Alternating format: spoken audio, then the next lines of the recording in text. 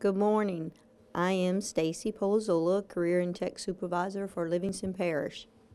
And I'm Jody Purvis, the High School Instructional Supervisor for Livingston Parish Public Schools.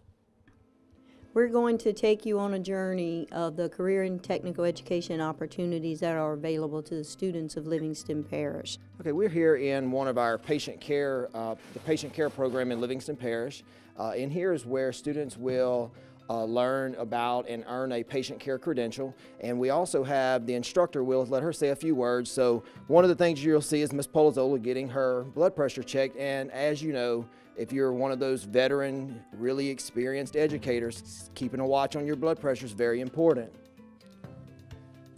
Um, so in the patient care technician course, the students get um, a great basic foundation for the medical field. So it'll kind of help them to decide if it's something that they want to further or, um, and you know, further their education or if it's something they just absolutely do not want to do. So in this course, um, they have the opportunity to participate in an internship in the spring semester where they go to hospitals and doctor's offices to gain real life experience and responsibility of being in the real world.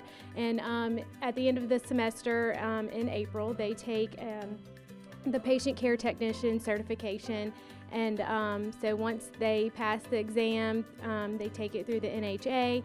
So this is the Computer Service Technology class at the Literacy and Technology Center in Walker. Uh, Mr. John Hutchison is the instructor. Students here have the opportunity to earn credentials in things like A+, plus, uh, Adobe. So I'm going to let him explain what Mr. Purvis is experiencing right now. So this is Richie's Plank Simulator.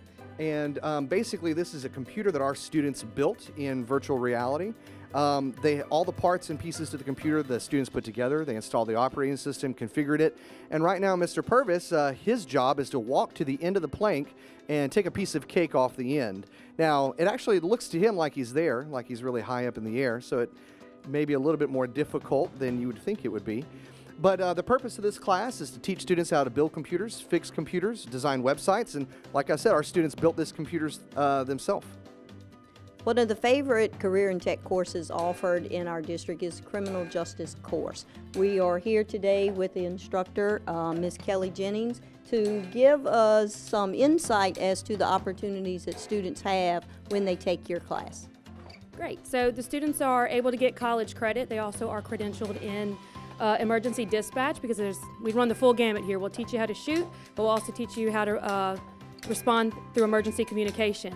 What we're showing you here is a portion of the post course where the students learn to not only take the gun out of the holster, which is actually more difficult than it looks, but also to get sight picture and to hit a target within a certain amount of time.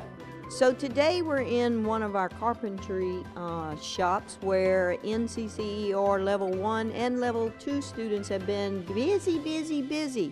Uh, this building is um, just a, a, regular day for them. It incorporates all the skills needed uh, for the students to obtain their uh, credential and certification. Angel, tell us the benefit of a student going through the ProStart curriculum. Well, with ProStart, it gives them many opportunities to work within food service. So they would leave with both a certification in ProStart as well as they can become ServSafe certified. If they choose to go to culinary school, that would actually help to cover some of their classes that they're already going to be needing to take. Um, or they could work directly into the food service as an entry level. Brandy, can you tell us a little bit about the opportunities that the kids have here? Well, when they come to me, they are already certified nursing assistants. Oh, no. So um, look at the big baby. Pay attention. Look, ah, look. What a champ. And um, in our class, we learn phlebotomy and EKG. And so when the students graduate in May, they'll be certified phlebotomy techs and certified EKG techs. We're fortunate here in the district to have a student-ran bank uh, directly on one of our school sites and possibly on some other school sites. This site is actually sponsored by Neighbors Federal Credit Union, and this is where students can do all of their banking and learn customer service skills as well as financial literacy. So we made a stop at one of the high school's uh, digital graphics shop and entrepreneurship, entrepreneurship, customer service, customer service, and we teach the kids um, how to take a design from uh, paper from all the way to end product to the t-shirt. And they have to deal with the customers and deliver and make sure quality control. They have to learn how to work with each other